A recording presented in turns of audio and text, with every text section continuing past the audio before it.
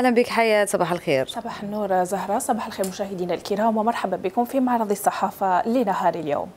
البداية بجريدة الحياة التي عنونت بالبنط العريض صدر صفحتها الأولى. مجلس الوزراء خمسة محاور مهمة على طاولة الاجتماع. هذه تعليمات وأوامر الرئيس تبون. وتقرؤون في التفاصيل. ترأس الرئيس عبد المجيد تبون الأحد اجتماعا لمجلس الوزراء. تناول مشروع قانون يتعلق بالحالة المدنية وعروضا منها القوانين الأساسية للأسلاك الطبية والشبه الطبية للصحة وتمويل المؤسسات الناشئة ومتابعة إنجاز وتجهيز مشروع المدينة الإعلامية الجزائرية الجديدة. هذا بعد افتتاح أشغال الاجتماع من قبل الرئيس. ثم الاستماع إلى جدول الأعمال وعروض السيد الوزير الأول النشاطات الحكومية خلال الأسبوعين الأخيرين. هذا وأسدى الرئيس تبون الأوامر والتوجيهات حول الخمس محاور التالية. مشروع قانون الحالة المدنية والتقرير المرحلي المتعلق بمدى تقدم عملية الرقمنة والقوانين الأساسية للأسلاك الطبية والشبه طبية وبخصوص إعادة تثمين معاشات ومنح. منح التقاعد أقول لسنة 2024 لمتقاعدي نظام التقاعد للإجراء. أو للأجراء أقول أو غير الأجراء وآخر محور بخصوص تمويل المؤسسات الناشئة ننتقل الآن مشاهدينا لجريدة المساء وعنونت نظير الدعم الثابت لكفاح الشعب الصحراوي من أجل صد العدوان المغربي. البوليزاريو تجدد امتنانها للرئيس تبون والجزائر وجاء في التفاصيل. جدد المكتب الدائم للأمانة الوطنية للجبهة الشعبية لتحرير السقية الحمراء ووادي الذهب البوليزاريو امتنانه وعرفانه للجزائر حكومة وشعبا بقيادة رئيس الجمهورية عبد المجيد تبون. على مواصلة دعمها لكفاح الشعب الصحراوي في مختلف الميادين من أجل صد العدوان التوسعي المغربي حسب ما جاء في البيان الختامي لاجتماع المكتب. وتطرق الاجتماع الذي ترأسه رئيس الجمهورية العربية الصحراوية والديمقراطية الأمين العام لجبهة البوليزاريو إبراهيم غالي للقاء الذي جمعه برئيس الجمهورية عبد المجيد تبون بحضور وفد البلدين والذي تزامن مع اجتماع مجلس الأمن حول الصحراء الغربية وما يرافق ذلك من رسائل ودلالات لصلابة التحالف الاستراتيجي بين الدولتين. ننتقل مشاهدينا إلى جريدة أخرى. إلغاء مباراة ذهاب نصف نهائي كأس الكاف بين اتحاد الجزائر ونهضة بركان. الكاف تنحني لنزعة المغرب الاستعمارية. هكذا عنونت جريدة الخبر. وتقرؤون في التفاصيل.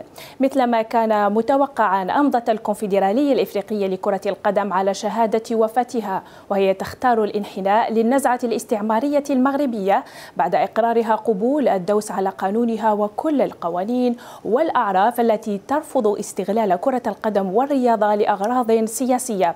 ورغم إصرار الكاف على اعتماد قميص نهضة بركان المغربي وهو يحمل خريطة تتعدى فيها على الأراضي الصحراوية.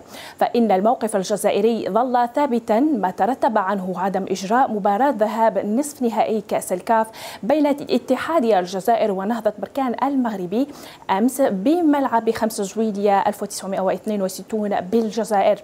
وإذا كانت الكاف ثبتت على موقف يبرز اختطافها من طرف المغرب فإن الطرف الجزائري قد راسل محكمة التحكيم الرياضي في جولة أخرى من المعركة القانونية لإحقاق الحق وكشف مخططات المغرب والكاف التي ترتكز على حرب العصابات. ننتقل الآن مشاهدينا لجريدة المجاهد وعنونت سحب استدعاءات البكالوريا والبيام الوزارة تحدد المواعيد وتقرؤون في التفاصيل. أكد مدير التعليم الابتدائي بوزارة التربية الوطنية محمد ضيف الله أن كل الترتيبات المادية والبشرية ضبطت لإنجاح امتحانات نهاية السنة حيث تم الأخذ بعين الاعتبار خصوصية كل منطقة وكشف ضيف الله أمس الأحد خلال لقاء إذاعي عن تاريخ سحب الاستدعاءات الخاصة بالامتحانات ابتداء من الأسبوع الأول من شهر ماي. هذا وأوضح المتحدث ذاته أن عملية التسجيل في الامتحانات لهذه السنة بدأت بشكل مبكر انطلاقا من الواحد والعشرون نوفمبر 2023 ثم تلتها المرحلة الثانية وهي مرحلة تأكيد التسجيلات التي تمت في 21 فبراير من سنة 2024 وأضاف قائلا نحن الآن في المرحلة الثالثة حيث بدأ تم بدأ سحب الاستدعاءات لاختبارات التربية البدنية انطلاقا من السادس عشر أفريل الجاري وسيتم سحب الاستدعاءات الخاصة بالاختبارات الكتابية لمرحلة التعليم المتوسط والثانوي ابتداء من الأسبوع الأول من شهر ماي المقبل. وأكد ضيف الله الانتقال من الرقمنة إلى مرحلة تجويد الرقمنة بعد أن تمت التسجيلات لأول مرة بصفر ورقة. ننتقل مشاهدينا لجريدة سبق بريس الإلكترونية التي تطرقت للقاء رئيس المجلس الوطني الشعبي الجزائري ونظيره العماني وعنونت. محادثات بين رئيس المجلس الشعبي الوطني مع نظيره العماني. وجاء في التفاصيل. استقبل إبراهيم بوغالي رئيس المجلس الشعبي الوطني اليوم أمس الأحد أقول بمقر مجلس الشورى العماني من قبل رئيس مجلس الشورى الشيخ خالد بن هلال بن ناصر المعولي وذلك بحضور سفير الجزائر لدى السلطنة الدكتور محمد علي بوغازي حسب بيان للمجلس الوطني الشعبي. وفي هذا السياق أكد رئيس المجلس أن العلاقات بين الجزائر وسلطنة عمان لابد أن ترقى لمستوى متانة العلاقات السياسية التي تجمع قيادتي البلدين داعيا إلى ضرورة تعزيز التبادل التجاري والثقافي والأكاديمي وتشجيع رجال الأعمال على الاستثمار في البلدين لافتا إلى ما يخ لافتا إلى أن مقومات اقتصادية هامة تجمع البلدين، أما على الصعيد البرلماني فقد أوضح أبو غالي على أهمية الجهود البرلمانية في مرافقة الدبلوماسية الرسمية وركز على الدور الذي يمكن أن تلعبه في تبادل الخبرات والتجارب.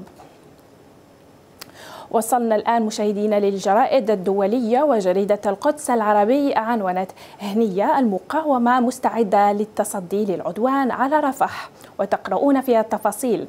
حذر رئيس المكتب السياسي لحركة المقاومة الإسلامية حماس إسماعيل هنية الذي يزور تركيا من إقدام جيش الكيان الإسرائيلي على اجتياح مدينة رفح مؤكدا في الوقت ذاته على جاهزية فصائل المقاومة على الأرض.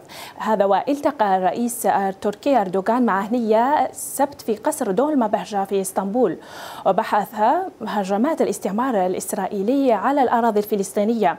وفي مقدمة وفي مقدمتها أقول غزة. هذا وأكد أردوغان لهنية وفق بيان صدر صدر أقول عن الرئاسة التركية أن تركيا تواصل مساعيها الدبلوماسية للفت الأنظار أنظار المجتمع الدولي إلى الظلم الذي يتعرض له الفلسطينيون. هذا وتشدد في كل وتشدد أقول في كل فرصة على الحاجة إلى وقف عاجل ودائم لإطلاق النار وعلى إنهاء الأعمال الوحشية.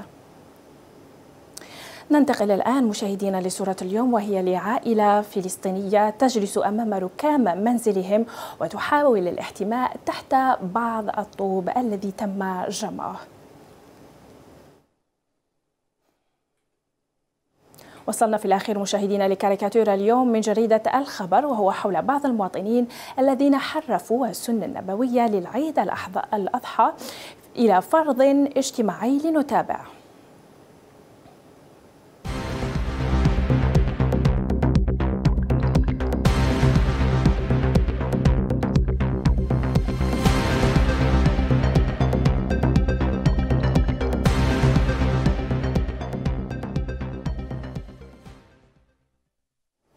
بهذا مشاهدينا نصل ختام معرض الصحافة لنهار اليوم.